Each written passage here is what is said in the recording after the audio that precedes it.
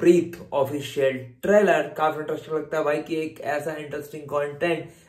beyond the futuristic को generate करता है कि किस तरह से उसके पेरेंट्स उसके लिए ऑक्सीजन जनरेटर का काम करते थे। एंड इवेंचुअली उसे एक बॉक्स में उसकी सर्वाइवल का लास्ट चांस दिखा। इवेंचुअली सर्वाइवल के लिए मार्क्स मैन और एक मार्क्स बॉक्सेस के साथ वो बाहर निकलती थी। काफ़ी इंटरेस्टिंग कंटेंट का एक इंटरेस्टिंग स्टाइल द ब्रीथ का ये ट्रेलर एक रेफरेंसेस को भी दिखाया कि किस रिलेशनशिप डॉटर और फादर के बीच में होता है, जो एक रिप्लिका दिखाता है। पूरे लाइफ चेंजिंग इम्पैक्ट स्टोरी का तो काफ़ी इंटरेस्टिंग फैक्ट के साथ, एक इंटरेस्टिंग फैक्ट स्टोरी एक फैक्टोरियल स्टोरी की story line and get ready well emotion को हिट कर देना पावरफुल कंटेंट क्या लगा वीडियो को एंजॉय और एक सब्सक्राइब कर लीजिए ब्लॉग्स को, क्योंकि भाई ऐसे करके different different content and trial and पर बात की जाती है तो एक ब्रीथ इन दिस साइड आया था और एक ब्रीथ आया था क्या लगा वीडियो को सब्सक्राइब मेरे ब्लॉग्स